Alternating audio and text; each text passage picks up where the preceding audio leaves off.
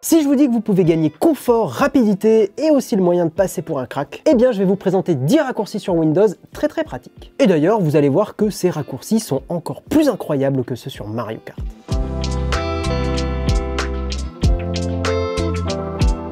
Aujourd'hui, Windows reste incontournable, que ça soit pour du gaming, que ça soit dans les écoles avec les ordis du CDI qui fonctionnent jamais ou rament à mort. Windows, c'est aussi préinstallé sur quasi tous les PC portables, et puis c'est souvent le vieil ordi de chez ses parents ou du bureau. Et même si vous êtes sur Mac ou Linux, bah en fait, lancer Windows, ça arrive souvent. Vous le savez, nous à Naotech, on est des gros fanboys de Shadow, et bah Shadow, c'est un Windows, donc les raccourcis qu'on va vous présenter aujourd'hui vont fonctionner là-bas. Bref, vous l'avez compris, les connaître sera toujours intéressant. Ça permet de mieux utiliser son ordi, ça permet d'être tech c'est-à-dire de prendre le temps de mieux connaître la tech qu'on a déjà. Dans cette vidéo, on va aborder des raccourcis plus ou moins populaires, mais même si vous êtes un crack, je pense qu'il y en a au moins un que vous allez découvrir. Et si c'est pas le cas, allez vous la péter en commentaire. Ah, et pour chaque raccourci, parce que j'ai envie que vous les ayez bien en tête, je vais vous donner un moyen mnémotechnique de vous en souvenir. Parce que souvent les raccourcis, on en découvre, mais on les oublie au bout de 10 minutes, et c'est un peu dommage. Le premier raccourci de cette vidéo, c'est Windows plus point virgule. C'est un raccourci méconnu, mais tellement pratique aujourd'hui parce que on utilise des emojis tout le temps et Windows plus point virgule, ça permet d'ouvrir le panneau d'emojis. Donc vous allez pouvoir envoyer à votre entourage vos meilleurs emojis aubergines, pêche et goutte. Le moyen de s'en rappeler, c'est que le point virgule, ça ressemble un petit peu à un clin d'œil, donc voilà, Windows plus clin d'œil, c'est les emojis. Non mais en vrai, je trouve que c'est pas con, euh, Windows plus clin d'œil, euh, voilà. Je trouve que c'est pas con ce que tu dis, très bien. Je sens une ambiance pesante de jugement, je tiens à le dire. Le deuxième raccourci, c'est Windows plus V. Alors je vais être honnête, c'est pas un raccourci que j'utilise énormément, je vais vous expliquer un petit peu pourquoi après, mais il est extrêmement pratique parce qu'il permet d'ouvrir un presse-papier. Le presse-papier, en gros, c'est l'historique de tout ce que vous avez copié sur votre ordinateur. Donc ça va inclure du texte, mais ça peut inclure aussi des images. Et croyez-moi, peu importe votre activité, que vous soyez étudiant, que vous soyez pro, que vous soyez codeur, euh, graphiste ou quoi, c'est hyper hyper utile. Comme moyen de s'en rappeler, alors j'ai pas trouvé euh, de truc très très bien. Donc pour moi c'est un peu euh, Windows plus vlan, voilà tout ce que tu as copié. C'est claqué au sol, je le sais, mais euh, voilà. Si vous avez mieux, dites-le en commentaire. Alors pourquoi je vous ai dit que j'utilisais pas trop ce raccourci? C'est parce qu'en fait j'utilise une appli qui s'appelle Ditto, qui permet de le faire, je trouve, un peu plus facilement. L'historique est plus long, enfin je trouve ça un peu mieux foutu, donc on vous met le lien en description si ça vous intéresse. Le troisième raccourci, c'est Windows plus majuscule plus S. Je suis sûr que la majorité d'entre vous, pour faire une capture d'écran, vous faites impression d'écran, vous ouvrez Paint, vous recadrez et vous copiez autre part. Mais justement, ce raccourci-là, il permet d'ouvrir le nouvel outil de capture beaucoup plus moderne qui a été rajouté depuis Windows 10, si je dis pas bêtises. Le moyen mnémotechnique pour s'en rappeler, c'est que bah, Windows S, S c'est comme screenshot, capture d'écran. Je trouve que voilà, ça permet de s'en souvenir facilement. Je recommande quand même ShareX comme application tierce pour faire des captures d'écran sur Windows. C'est un outil beaucoup plus complet, vous pouvez aller beaucoup plus loin. Par exemple, vous pouvez envoyer directement vos captures sur Internet ou alors enregistrer votre écran en vidéo. Mais encore une fois, si vous ne pouvez pas installer d'application sur votre ordi, Windows plus Maj plus S génial. Raccourci numéro 4, F11. Quand on utilise un navigateur web, c'est con, mais en fait, on perd énormément en surface d'affichage avec, vous savez, bah, la barre de menu d'en haut et la barre d'onglet. Et parfois, regagner cette place, eh ben, c'est pas forcément bête. Si vous lisez un gros article sur Wikipédia, bah, typiquement, ça permet d'avoir plus de surface d'affichage en hauteur, donc je trouve ça hyper intéressant. Ça permet aussi de bosser avec un peu moins de distraction. C'est vrai que souvent, la barre d'onglet ou alors la barre de menu, bah, ça rajoute de l'information à l'écran. Donc là, ça permet d'avoir une expérience navigateur beaucoup plus minimaliste minimaliste. Mais appuyer sur F11, c'est pas utile que pour ça. Nous, par exemple, quand on enregistre notre écran en vidéo, quand on essaye de faire des choses un peu propres, ça permet justement, bah, comme je vous l'ai dit, de cacher cette barre de menu, cette barre d'onglet. Donc ça permet d'avoir en fait des captures beaucoup plus propres. Et si par exemple vous êtes enseignant, vous êtes prof, ou alors que vous faites du stream sur Twitch ou des choses comme ça, et eh ben ça permet d'avoir quelque chose de beaucoup plus propre. Alors comme moyen pour s'en rappeler, F11 c'est un peu compliqué, j'ai pas trouvé grand chose, donc pareil, si vous avez une idée, n'hésitez pas à la mettre en commentaire. Voilà, celui-là pour le coup, il faut vraiment s'en souvenir euh, comme ça. Cinquième raccourci, peut-être un peu plus connu, c'est CTRL Y ou CTRL MAJ Z, c'est l'un ou l'autre. En gros, ça permet de refaire une action qu'on a annulée. Je m'explique. Vous connaissez sûrement CTRL Z, ça permet d'annuler la dernière action. Si par exemple sur Word vous avez écrit un mot et que en fait bah, ça vous va pas, vous faites CTRL Z, ça annule. Sur l'explorateur Windows, si vous avez collé un fichier quelque part et qu'en fait pareil ça vous va pas, vous faites CTRL Z, ça l'enlève, ça revient en arrière. Et bien CTRL Y, c'est le contraire, ça revient en avant. C'est utile dans énormément de logiciels. Par exemple, si vous faites de la création, la suite Adobe le supporte complètement. Par exemple sur Photoshop, alors je crois que sur la suite Adobe, si je dis pas de bêtises, c'est CTRL Maj Z et pas CTRL Y. Voilà, encore une fois, c'est l'un ou l'autre. Si vous écrivez un document sur par exemple Google Docs, ben, pareil, ça permet de réécrire le mot que vous venez d'annuler. Enfin voilà, c'est utile dans plein de situations, ça fonctionne sur plein de logiciels et c'est extrêmement pratique. Le moyen mnémotechnique pour celui-là, bon, c'est un peu geekos, mais c'est CTRL plus Yoda, parce qu'il y a la scène dans Star Wars 5 où Yoda fait sortir le vaisseau de l'eau du marécage. Donc en fait, bah, il remet dans l'état précédent le vaisseau. Bon voilà, c'est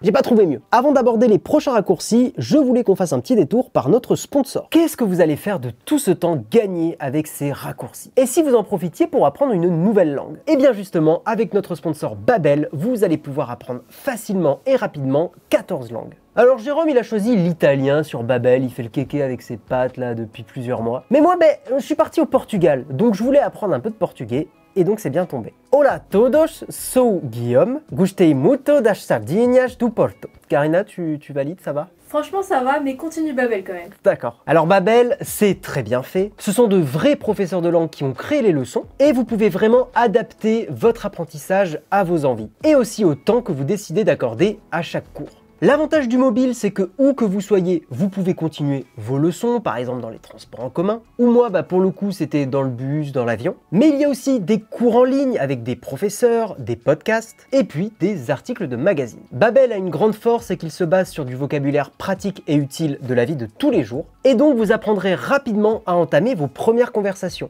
Et ça, c'est cool. En plus des cours, il y a plein de petites anecdotes et de petits secrets. Et vous n'êtes pas sans savoir que en portugais, bah en fait, il y a un peu deux portugais, le brésilien et celui du Portugal. Et justement, l'application explique souvent les différences entre les deux. J'ai trouvé ça vachement bien. Bref, vous l'avez compris, les leçons sont courtes et tout ça va permettre d'ajouter une petite corde à votre arc et d'apprendre facilement pendant vos pauses, vos transports et tous ces petits moments creux qu'on a parfois pendant une journée. Pour profiter de tout ça, on a une réduction spéciale de 30% pour vous. Pour en bénéficier, il suffit d'utiliser le lien qui est en description de cette vidéo. En tout cas, on remercie une nouvelle fois Babel de nous avoir permis de produire cette vidéo en toute indépendance et on enchaîne avec la suite. Obrigado et até a próxima.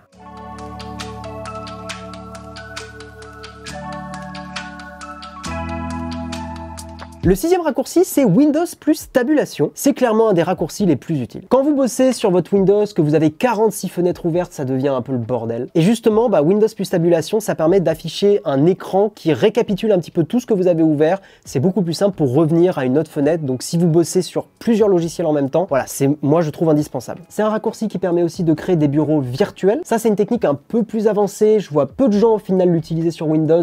Peut-être qu'on en reparlera dans une prochaine vidéo. Pour information, si vous avez un ordi portable sous Windows, le raccourci avec les doigts sur le trackpad, c'est trois doigts vers le haut. C'est un raccourci qu'on a aussi sur les Mac et c'est pour ça que je m'y suis hyper habitué et pour moi c'est hyper important de le retrouver sur Windows. Et comme moyen pour s'en souvenir, bah vous pouvez vous dire que Windows Tab c'est comme Windows plus un tableau récapitulatif de toutes vos applis. On avance et le raccourci suivant c'est Maj plus supprimer. Vous faites peut-être partie des hérétiques qui font encore glisser leurs fichiers dans la corbeille. Alors ça marche, hein, mais vous avez beaucoup plus rapide. Le raccourci clavier le plus évident, vous avez la touche sur votre clavier, bah, c'est d'appuyer sur Supre. Mais est-ce que vous saviez que vous pouviez faire Maj plus Supre? Et ça, ça permet de supprimer définitivement un fichier. Alors attention, c'est à manier avec beaucoup de précautions parce que vous ne pourrez pas revenir en arrière. Vous ne pourrez pas par exemple faire CTRL Z, donc vraiment attention. Mais quand vous êtes sûr à 2000% que le fichier doit disparaître, alors là, c'est très très très pratique. Comme moyen mnémotechnique pour s'en rappeler, vous pouvez imaginer que c'est une majestueuse suppression. Maj supre. Donc c'est plus... oui, c'est... Oh, c'est claqué tes moyens mnémotechniques. Écoutez, vous jugez, mais les gens vont rire. Voilà, et c'est mon but. Ouais, ou te juger. Eh ben, ils me jugeront. Et rire. Ben, jugez-moi et riez. C'est pas grave, je suis sûr que vous vous en rappelez- euh, rappellerez comme ça. Huitième raccourci, on va parler de contrôle plus maj plus V. Alors ça, pareil, si vous avez écrit au moins une fois un texte sur un ordi, ça vous est arrivé. Vous êtes sur un petit site web, vous voulez copier un texte de ce site et le rajouter dans votre texte à vous. Donc évidemment, vous faites CTRL-C, copier, et vous faites CTRL-V dans votre euh, Word ou dans votre Google Docs par exemple. Et là, patatras, ça vous garde la mise en forme du site web qui est dégueulasse, qui est pas du tout la même police d'écriture, le texte il est écrit en rouge, ça va pas du tout, c'est dégueu. Et donc vous êtes obligé de vous taper à la main, de remettre en forme le truc en entier, bref, c'est euh, une minute de perdu. Et ben CTRL-MAJ-V, alors ça marche pas à 100% des cas, mais ça marche souvent. En fait, ça permet de coller le texte en enlevant la mise en forme de l'endroit où vous l'avez copié. Donc là, en l'occurrence, par exemple, du site web. Et donc c'est super utile parce que ça évite de changer à la main le texte pour qu'il soit cohérent avec ce que vous aviez déjà écrit. Comme moyen pour s'en rappeler, bon, il est un peu claqué, soyons honnêtes, mais c'est que vous faites CTRL MAJ, donc c'est un peu un collage magique du texte. Je vous avais prévenu. L'avant-dernier raccourci, c'est CTRL flèche, et celui-là, je suis assez étonné qu'il soit pas plus connu. C'est un raccourci que j'ai appris en codant, parce que c'est vrai que quand on fait du code, c'est extrêmement pratique. En gros, CTRL flèche permet de se déplacer de mot en mot dans un texte. Et vous l'aurez donc compris, bah, ça permet d'aller plus vite au mot où on veut être, sans utiliser forcément la souris pour s'y rendre et cliquer dessus. Voilà, j'ai pas grand-chose à rajouter sur ce raccourci, et comme moyen de s'en rappeler, bah là, pour le coup, il n'y a pas forcément besoin, quoi. C'est CTRL flèche. Bon, voilà, ça se comprend de, lui-même. On termine avec le dernier raccourci, CTRL MAJ Alors celui-là, à chaque fois que je le fais, c'est un peu de la magie noire pour ceux qui ne le connaissent pas, mais ça permet tout simplement, quand vous êtes sur un navigateur web, de rouvrir le dernier onglet fermé. Imaginons, vous faites des recherches, vous avez 46 000 onglets ouverts sur votre navigateur, et là, vous en fermez un sans faire exprès. Si vous commencez à aller sur l'historique pour retrouver l'onglet que vous avez fermé, ça va être un enfer monstrueux. Donc justement, vous avez juste à faire CTRL MAJ T et hop, l'onglet réapparaît. Et truc incroyable, ça marche même si vous fermez 2, 3, 4, 5, X onglets. Vous allez faire CTRL MAJ T, si vous le faites plusieurs fois, bah, ça va réouvrir les onglets dans l'ordre de fermeture. Le moyen pour s'en rappeler, c'est CTRL MAJ T comme trop tard, parce que trop tard, vous avez fermé un onglet. Et... Mais non, c'est pas trop tard donc ça va. Voilà, on a fait le tour des raccourcis, j'espère que vous en aurez découvert certains. Si c'est le cas, n'oubliez pas bien sûr de laisser un pouce, pas bleu parce que les pouces bleus n'existent plus, mais voilà un pouce. C'était évidemment une critique envers Monsieur Jérôme. Si ce genre de contenu, un peu astuce et tout ça vous plaît, n'hésitez pas à vous abonner à la chaîne, car il est probable qu'on fasse un deuxième épisode. Bien sûr, si vous connaissez vous des raccourcis qui vous sont utiles au quotidien, bah, n'hésitez pas à les partager à la communauté. Et nous, on vous dit à la prochaine pour une nouvelle vidéo. Ciao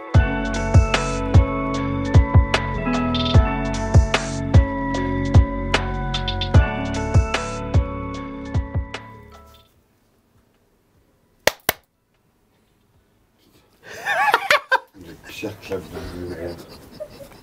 C'est si facile de te déclencher, c'est trop drôle. En fait, vous verriez Jérôme derrière, il est en train de faire une sieste. On dirait, on dirait pas le patine en ce moment, Jérôme, là. Ah voilà, c'est ça que je cherche. Ouais, on dirait pas le patine, euh, c'est incroyable. Eh bien, on peut me laisser bosser? Non. D'accord. C'est ça que je fais à chaque fois pour les tournages? Ah merde. Là, il y aura un B-roll où tu joueras Mario Kart, tu feras Yes Tu vois, tac. Non.